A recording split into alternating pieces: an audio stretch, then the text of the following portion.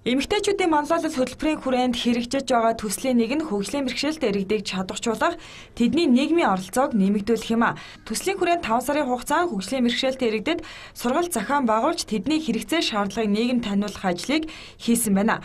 За өнгөрсөн амралтын өдөр төслийн багийнхаа олон улсад магадлан итгэмжлэгдсэн интернет эмнэлэгтэй хамтран уг төсөлд хамрагдаж байгаа хөгжлийн бэрхшээлтэй 25 иргэнд үн төлбөрийн үзлэг зөвлөгөөнд хамруулж тэдэнд тулгарсан асуудлыг шийдвэрлэхэд өөрсдийн хувь нэмрээ оруулж ажиллаа. Эмнэлэгт үзүүлэхэд маш хүндрэлтэй байдаг орж гарах тэгээд хүргэж ирэх хүн тэгээд очор дугаар авах зэрэгээс шалтгаалаад ер нь хүндрэлтэй асуудлууд зөндөө байдаг. За тэгээд интернет эмнэлэг маань болохоор гаднаа налуу замтай орж ирэхэд маш амар байлаа.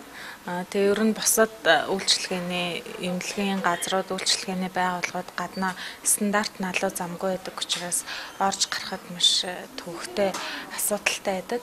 Аа тэгээд энэ талаа бас шийдэх юм бол олон хүнд хүртээмжтэй аа тийм орчин нөхцөлийг бүрдүүлвэл бас цаашдаа бусад ийм тэрэгцэртэй хөгжлийн бэрхшээлтэй хүн гэлтэхгүй бас өгшин настай хүмүүст ч гэсэн тустай байна хаа гэж бодож байна.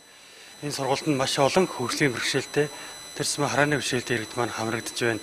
Тэгээ бид нар одоо энэ сургуульд нь хамрагдсанараа маш олон зүйлийг мэддэг хэрнээ мэдэхгүй зүйлээ маш олон мэдэж авсан байна.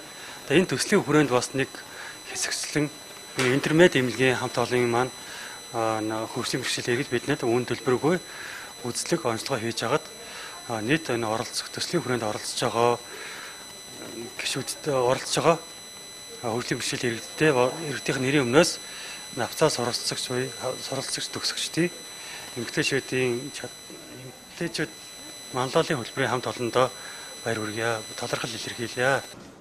За Австралийн засгийн газрын тэтгэлэгт хөтөлбөрөөр суралцад төгссөн хүмүүсийг хамруулдаг эмэгтэйчүүдийн манлайлалын хөтөлбөрийг Австралийн тэтгэлэгт хөтөлбөрийн газар за зориг сан хамтран хэрэгжүүлдэг. Хөтөлбөрт оролцогчид олж авсан мэдлэг чадвараа ашиглан нийгэмд эерэг өөрчлөлт авчрах төсөл хөтөлбөрүүдийг багаар хэрэгжүүлдэг уламжлалтай маа.